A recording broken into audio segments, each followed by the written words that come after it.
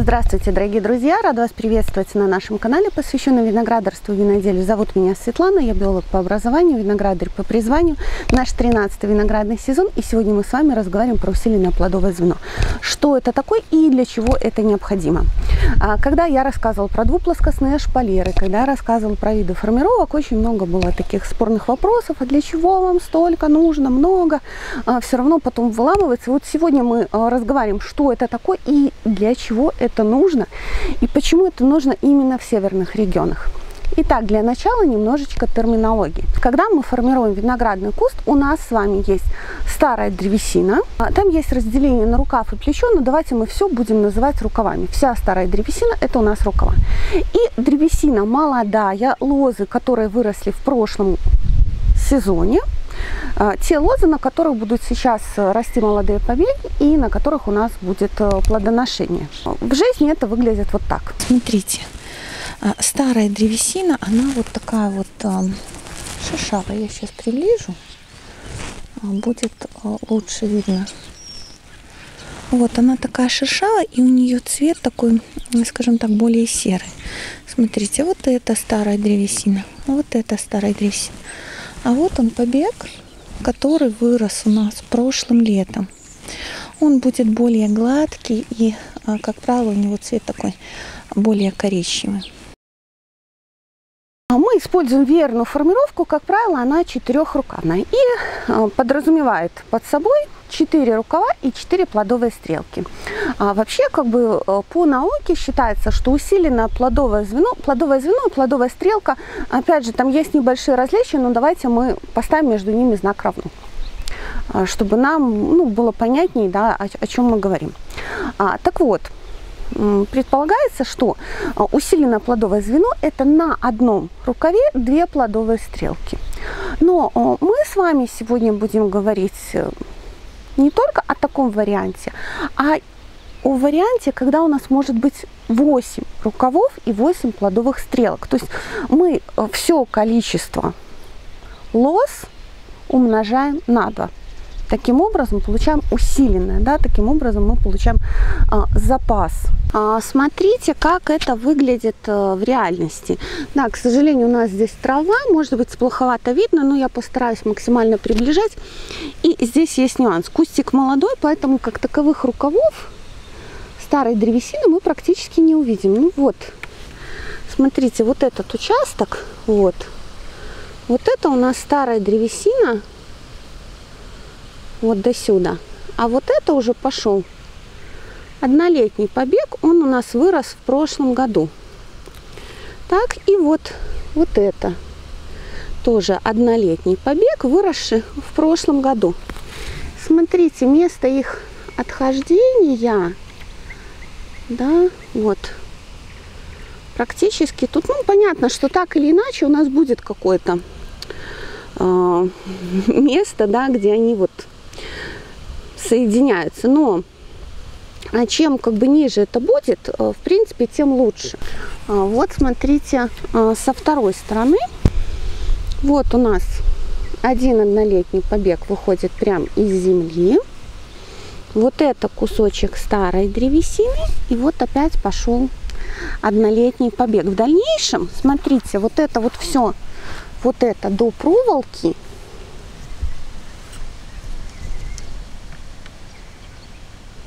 Вот. Вот до сюда, до проволоки. У нас останется старой древесины. А уже дальше мы будем пускать плодовые стрелки. Ну, сейчас э, вставлю специально картину какого-нибудь старого куста, чтобы вы посмотрели, как, как это выглядит.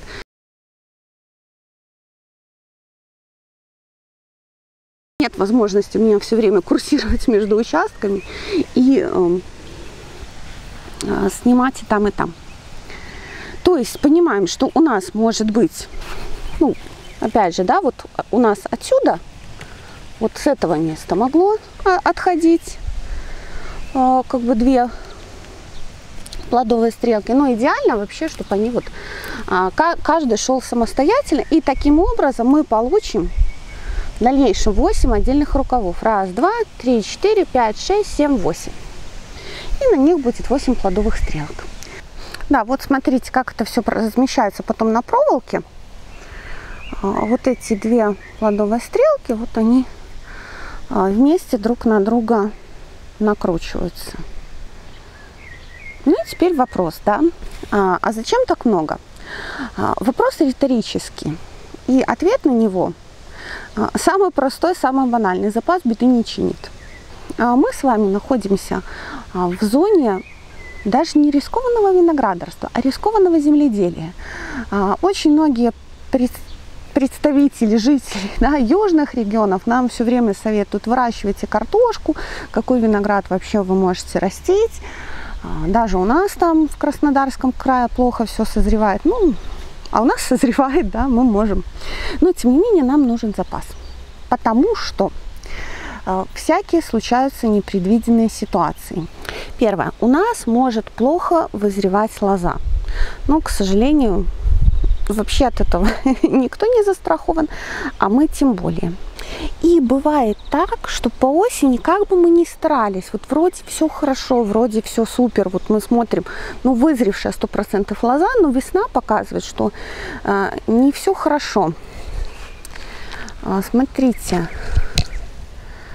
вот у нас идет плодовая стрелка и вот у нас почка проснулась. Так. Здесь не, не померзла, здесь в принципе. Вот там непонятно что. А вот здесь только-только просыпается. Здесь спит, здесь спит. И две на конце. То есть, смотрите, у нас получается, что на одну плодовую стрелку всего лишь три побега. И здесь нам еще повезло. Они все три, ну, более-менее такие э, хорошие. Это вот э, с другого, вот это, из другого куста. Да, более-менее хорошие. А бывает, что еще из них кто-то будет слабенький.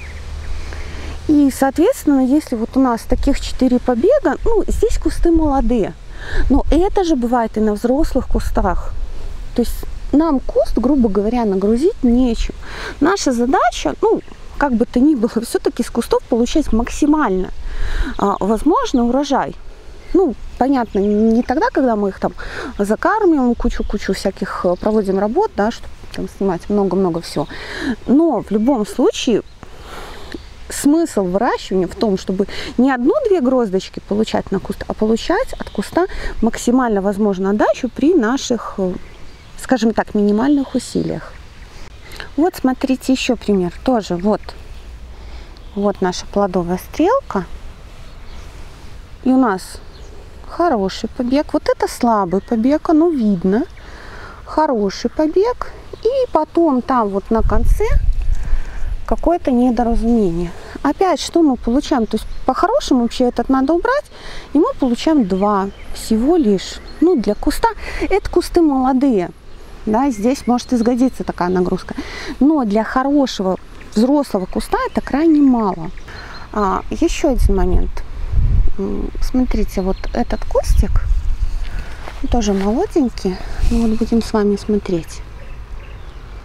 Здесь есть гроздочка, вот она. Вот здесь есть гроздочки. Вот здесь есть гроздочки.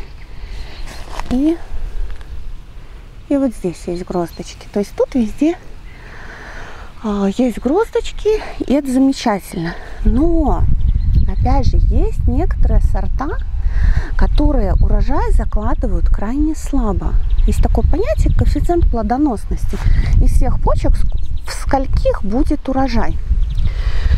А, так вот, для такого сорта нам, конечно, запас почек ну, может быть и не особо нужен.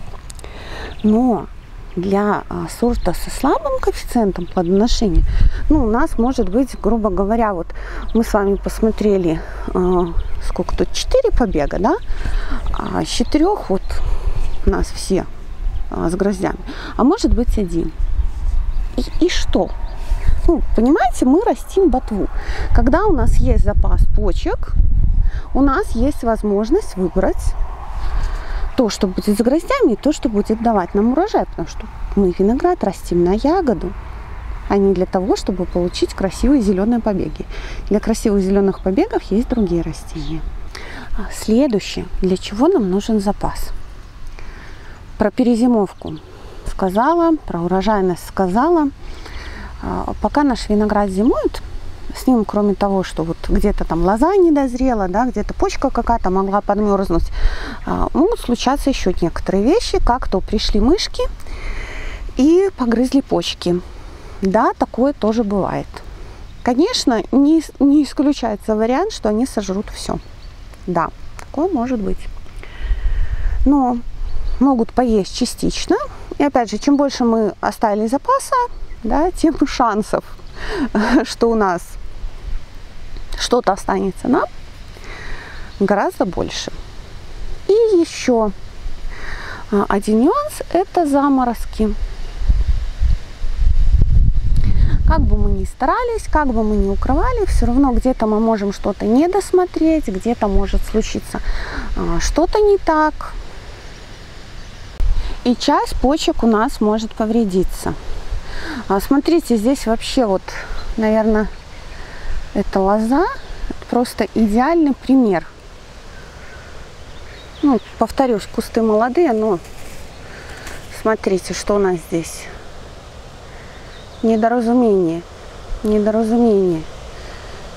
Ну, ладно, допустим, этот более-менее, этот более-менее, этот более-менее.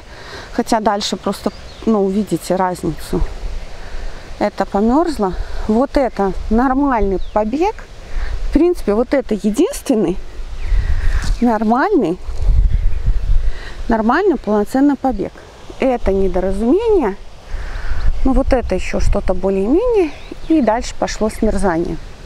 То есть на данной плодовой стрелке у нас, ну ладно, вот если закрыть глаза, ну три можно оставить. Все остальное либо померзло, либо вот, вот такое вот. Вот смотрите, на второй плоскости просто замечательно видно. Вот. Один хороший, один померз, один хороший, один померз. через один, да? Если бы мы оставили мало, то и нам бы осталось меньше. А ввиду того, что мы сделали запас, все-таки что-то осталось и нам. И куст мы нагрузить сможем. И именно для этого нам и нужен запас. Вот смотрите, даже здесь мы пойдем. Вот у нас хороший побег, вот никакой. Причем вот здесь хороший, вот никакой. Вот эти два хороших, они на одной стрелке. Дальше чуть-чуть мы поворачиваемся сюда. Здесь вот хороший побег, он идет уже на другой стрелке. Вот. Итого был бы у нас, ну там дальше еще один побег есть, но получается, что была бы у нас одна стрелка, а, если бы нам сильно повезло, то было бы два хороших побега, да? А если не очень, а, вот эту вот стрелку взять, то, у нас вообще только один побег хороший. И все. А, поэтому усилено плодовое звено, а запас плодовых стрелок, ну, это наша подстраховка. Конечно, можно выращивать вот, вот так, да, это интенсивные виноградники, это южные регионы, вот по мне это инвалиды, ну, так выглядит, да, не очень а, печально, там всего лишь одна плодовая стрелка небольшая. Ну, там есть определенная цель, определенная задача, это промышленное производство. Но мы не там, да, мы не на юге, мы все-таки, еще раз повторюсь, в зоне рискованного даже не виноградарства, а в принципе земледелия, и в нашем случае запас – это наша страховка. А как лучше делать? Две плодовые стрелки на одном рукаве, либо отдельно выводить 8 рукавов. Идеальный вариант, конечно, выводить 8 рукавов. Опять же, почему? Потому что наши, бывают ранние осенние морозы, бывают сильные весенние морозы, где-то могут повреждать проводящую систему. И чем больше вот этих проводников отдельных мы будем иметь, ну, тем, в принципе, лучше. Но у нас не всегда получается а, вырастить нужное нам количество рукавов. А вот еще один пример. Здесь я вообще оставила 4 плодовые стрелки а, на, на одном рукаве. Ну, потому что так вышло. Во втором было повреждение еще там пару лет назад, а, когда был град, и все, оно не вытянуло. Я его удалила, потому что, ну, там еле-еле что-то было. А, поэтому пока оставила так, но моя задача здесь отрастить новые рукава, отрастить ну, что-то новое, не оставлять все четыре на одном. А, тут опять же простой принцип, не храните яйца в одной корзине. Вот, еще раз возвращаемся к тому кустику, который мы смотрели. Вот здесь, видите, нам просто идеально получилось а, отрастить вот. Практически все идет отдельно друг от друга. Ну, вот это вот небольшие кусочки мы не считаем, потому что все равно там же у нас а, штамм, грубо говоря, один, ну, источник один, да, но чем он будет короче, чем ниже, тем лучше. Ну, это идеальный вариант. Вот здесь тоже пока что мы еще не нарастили нужное количество, но вот смотрите, вот это можно считать рукав уже. Старая древесина, вот пошли молодые. Вот раз, два, а эти идут вот а, прямо из земли. Вот раз, два, вот там вот третий. Да, и с этой стороны, то есть здесь у нас пока что на 6 получилось. То есть вот, вот такой вот идеальный вариант. Ну, вот такое допустимо. Даже если где-то дальше будет это разветвление, это тоже допустимо. А тут вы руководствуетесь, скажем так, вашими возможностями, потому что как бы мы ни изучали теорию, да, как бы мы не хотели формировать виноград по картинке, виноград этого не знает и растет так, как э, у него получается. Самое важное это иметь запас. На этом я с вами прощаюсь. Большое вам спасибо за просмотр. Подписывайтесь, ставьте лайки, пишите комментарии под роликом, нажав кнопку «Еще». Я вам оставляю ссылки на другие полезные видео, на видео по формировке, по нормировке. А, также ссылку на каталог наших сортов винограда и наши контакты. До новых встреч!